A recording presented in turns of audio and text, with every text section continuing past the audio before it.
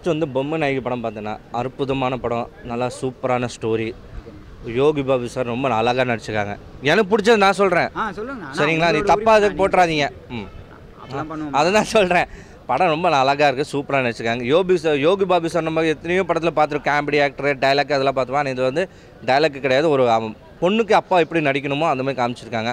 சந்தோஷ் சுப்பிரமணியம் அதில் பார்த்தீங்கன்னா ஜெயம் ரவி பிரகாஷ் ராவுக்கு அப்பாவும் மகனும் காமிக்கிறாங்களே அதே மாதிரி இதில் வந்து ஒரு சின்ன பொண்ணு அழகாக நடிச்சிருக்காங்க.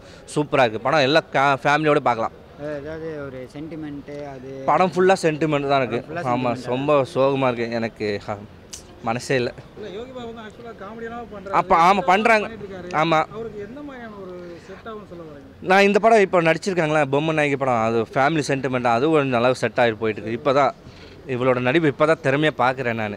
யோகி பாபு சார் நான் இது காமெடி ஆக்டர் தான் பார்த்தேன். ஆனால் இதில் வந்து ஒரு அப்பாவுக்கு சூப்பராக நடிச்சிருக்காங்க ரோல் சாங்ஸ் அந்தளவுக்கு இல்லை. மெலோடி சாங்ஸ் தான்.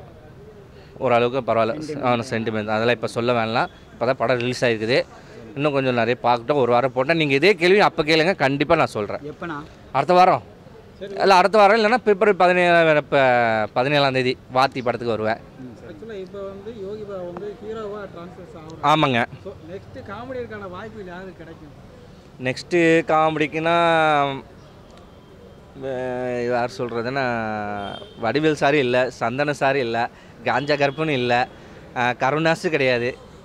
இப்போ புதுசாக யாரோ வந்திருக்காங்களா? என் பேர் அர்ஜுன். உடனே எனக்கு கொடுத்துடாதீங்க.